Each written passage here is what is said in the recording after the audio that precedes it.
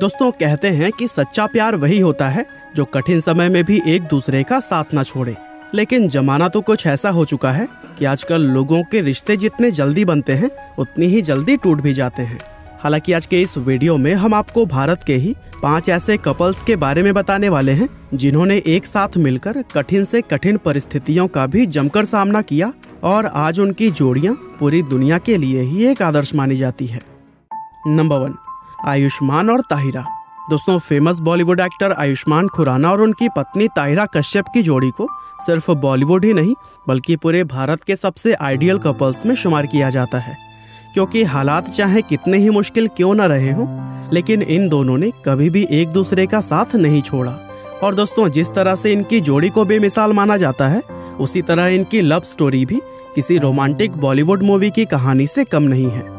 दरअसल ताहिरा और आयुष्मान की ये प्रेम कहानी तब शुरू हुई थी, जब ये दोनों बारहवीं क्लास के दौरान एक ही ट्यूशन में क्लास करने के लिए जाया करते थे। उस समय ताहिरा एक ऐसी लड़की हुआ करती थी, जिनके ऊपर स्कूल के हर एक लड़की को क्रश था। लेकिन ताहिरा को तो पूरे स्कूल में सिर्फ़ आयुष्मान ही पसंद थे।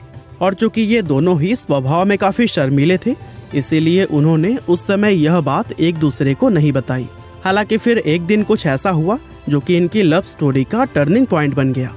दरअसल हुआ यह कि ताहिरा के पिता उनको अपने एक दोस्त के यहाँ डिनर पर लेकर गए और ताहिरा जब अपने पिता के दोस्त के घर पहुँची तो वह पूरी तरह से शॉक्ड रह गई थी, क्योंकि यह घर किसी और का नहीं, बल्कि आयुष्मान का ही था। असल में ताहिरा और आयुष्मान के पिता आपस में एक दोस्त थे और यह बात इन दोनों को भी उसी दिन ही पता चली थी। और यह पहला मौका था जब इन दोनों ने पहली बार एक दूसरे से बातें की थी। अब इस मुलाकात के बाद से इन दोनों की दोस्ती शुरू हो गई और फिर कुछ दिनों में देखते ही देखते ये दोस्ती गहरे प्यार में बदल गई। और फिर इसके बाद से एक दिन सही मौका देखकर आयुष्मान ने एक डिनर डेट के दौरान ताहिरा को शादी के लिए प्रपोज कर दिया। अब ताहिरा यह अच्छी तरह से जानती थी कि आयुष्मान एक एक्टर बनना चाहते थे, जिसमें कि उनके फेल होने के भी पूरे पूरे चांसेस थे। और यह सब जानते हुए भी उन्होंने सिर्फ़ प्यार के खातिर आयुष्मान से शादी करने के लिए हाँ कर दी थी, जिसके बाद साल 2011 में ये दोनों शादी के बंधन में बध गए थे। वैसे आपकी जानकारी के लिए बता दें कि शादी के बाद जब आयुष्मान एक्टर बनने के लिए स्ट्रगल किया करते थे, तब ताहिरा ही काम करके अपने घर को चलाया करती थी। असल में ताहिरा को इस बात पर पूरा यकीन था कि आयुष्मान एक न एक दिन कामयाब ज़रूर होंगे।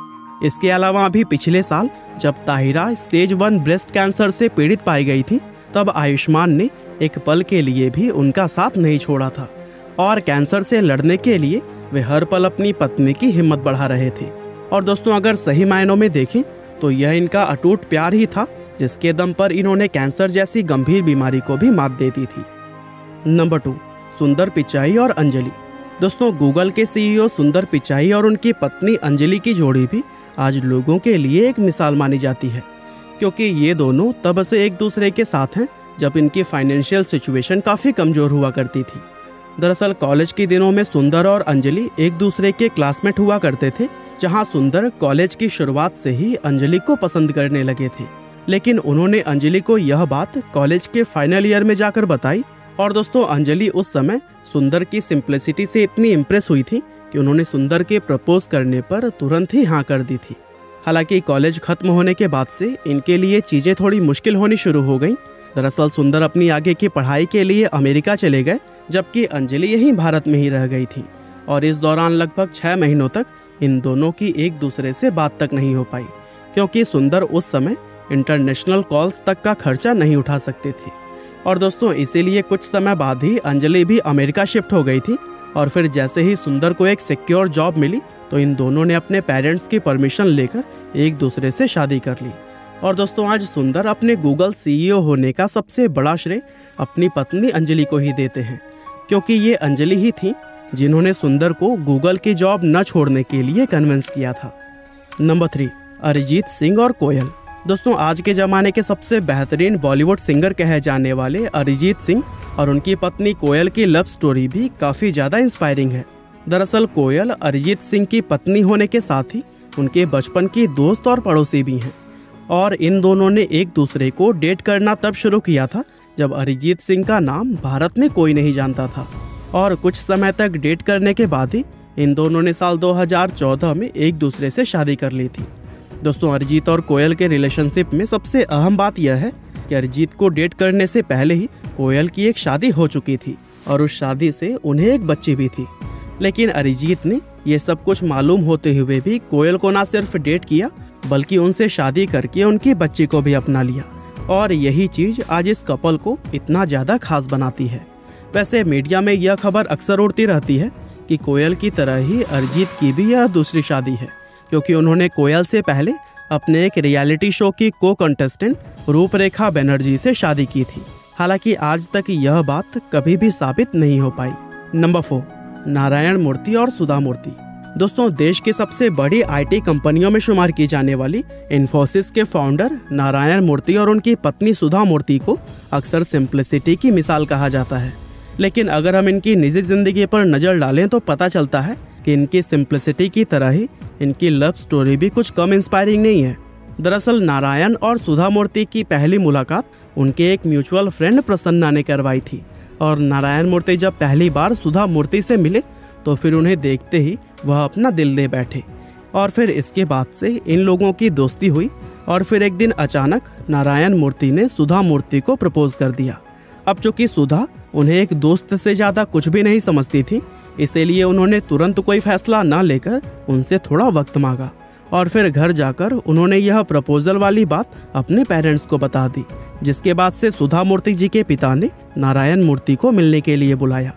अब एक तो उस समय नारायण मूर्ति जी के पास कोई जॉब नहीं थी और दूसरा, वो इस मीटिंग में ट्रैफ़िक की वजह से पूरे दो घंटे लेट पहुँचे थे। इसलिए सुधा मूर्ति के पिता ने अपनी बेटी से कहा कि जो आदमी पहली ही मुलाकात में टाइम पर न पहुँच पाए वो भला तुम्हारा ख्याल कैसे रख पाएगा? और यह कहकर उन्होंने नारायण मूर्ति को उसी समय ही रिजेक्ट कर दिया। हालाँकि इतना सब कुछ होते होते अब सुधा मूर्ति भी नारायण मूर्ति को चाहने लगी थी। इसीलिए पिता के मना करने के बावजूद भी ये दोनों अगले तीन साल तक एक दूसरे को डेट करते रहे।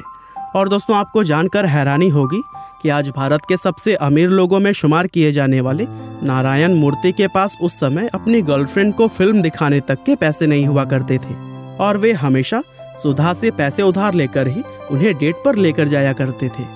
हालाँकि आखिरकार साल 1977 में जब नारायण मूर्ति को एक कंपनी में जनरल मैनेजर की जॉब हासिल हुई, तब जाकर सुधा मूर्ति के पिता इन दोनों की शादी के लिए माने, जिसके बाद से अगले साल यानी कि 1978 में इन्होंने शादी कर ली।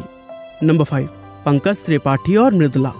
दोस्तों, बॉलीवुड के सबसे मज़े हुए एक्टर्स में शुमार किए जाने वाले पंकज त्रिपाठी जिस तरह से स्क्रीन पर रोमांस करते हुए नज़र आते हैं, ठीक उसी तरह उनकी और उनकी पत्नी मृदुला की लव स्टोरी भी किसी फ़िल्म की कहानी से कम नहीं है।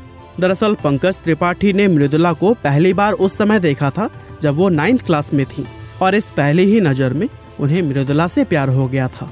असल में पंकज की बहन की शादी उनकी पत्नी मृदुला के बड़े भाई से हुई थी और इसी शादी के दौरान ही उन्होंने मृदुला को फ़र्स्ट टाइम देखा। इसके बाद से पहले इन दोनों के बीच में दोस्ती शुरू हुई और फिर कुछ दिनों में ही यह दोस्ती प्यार में बदल गई। पंकज हर छह महीने में एक बार अपनी बहन से मिलने उसके घर जाते थे और इसी दौरान उनकी मुलाकात मृदुला से हो पाती थी। अब वो जमाना व्हाट्सएप पर चैट करने वाला तो था नहीं। इसीलिए पंकज और मृदुला एक दूसरे को लव लेटर लिखा करते थे। और चूँकि ब्राह्मण लोगों में एक ही परिवार के अंदर दो शादियाँ नहीं की जाती हैं, इसीलिए इन दोनों की शादी के लिए भी परिवार के लोग बड़े ही मुश्किल से माने थे। और जैसे तैसे करके साल 2004 में इनकी शादी हो पाई थी। और दोस्तों, पंकज ने एक इंटरव्यू में कहा था कि स्ट्रगल के दिनों में मुझे बहुत ज़्यादा तकलीफें नहीं झेलनी पड़ी, क्योंकि उस समय मेरी पत्नी मृदुला घर के पूरे खर्च को संभालती थी। दोस्तों, हालात चाहे कितने ही बुरे क्यों ना रहे हों, लेकिन इन दोनों ने एक दूसरे का साथ कभी नहीं छोड़ा। और यही वजह है कि आज इनकी जोड़ी को एक आदर्श कपल माना जाता है। बहरहाल, आज की इस वीडियो में तो बस इतना ही था, लेकिन इस वीडियो के पार्ट टू के लिए आप हमें ऐसे ही कपल्स के सजेशन कमेंट बॉक्स में दे सकते हैं। आपका बहुमूल्य समय देने के लिए बहुत बहुत धन्यवाद।